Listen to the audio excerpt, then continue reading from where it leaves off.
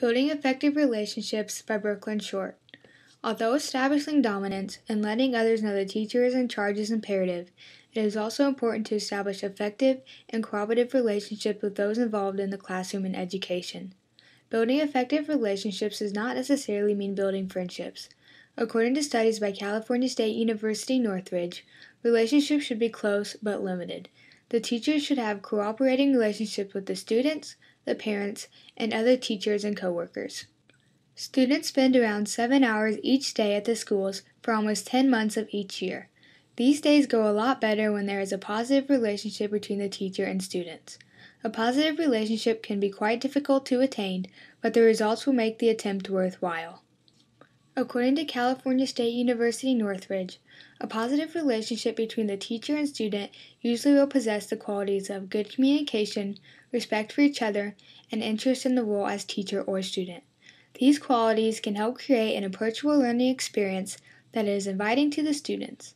In order to build a successful and trusting relationship, the teacher should be open and honest with the students, engage all students in discussions, and express value for the students and their good works. The communication between the teacher and the student serves as the connection between them. Communicating and interacting with the students helps the teacher to learn about the students and their habits. Students have different strategies for learning and all have different goals. Knowing the students better prepares the teacher in helping the students achieve and accomplish these goals. It is important for the teacher to have a positive relationship with the student's parents. Parental support for the teacher and involvement in the student's education is vital to learning and discipline. According to Education Oasis, part of a successful education comes from home, so it's important to involve parents in the learning experience. Active involvement and interest in the child's learning has a positive impact on the student. The best way to form a relationship is to connect with the parents from the start. Teachers from Education Oasis found it is a good idea to hold a conference within the first month of school to meet the parents, communicate with them about your expectations, and tell them how you will be available to the parents and students throughout the year. If parents have concerns or questions, answer them head on. Connection with the parents should be kept all year. Sending out newsletters, letting the parents know what is going on in the class, and phone calls with good news about a student's progress will help to strengthen that parent teacher relationship. Education Oasis claims that this can help create a sense of well being and show the parents that there is nothing to hide. Having the support of the parents will make the learning environment a more positive place.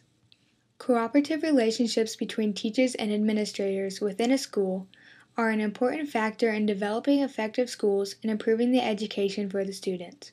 When teachers and staff are willing to work collaboratively, much more will get done. Being surrounded by supportive people is a great way for the teacher to build confidence. Teachers can bounce ideas and opinions off of each other, which provides a new and unique perspective. It's good for a teacher to connect with an older, more experienced teacher. This teacher can serve as a mentor and share his or her experiences to better prepare that teacher for different situations that may come up. This will help the teacher feel more confident and prepared in the classroom.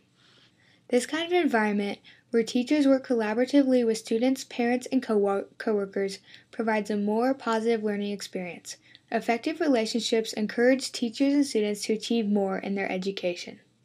For more information, please visit Educational Leadership Trust in Schools, a core resource for school reform. Thank you.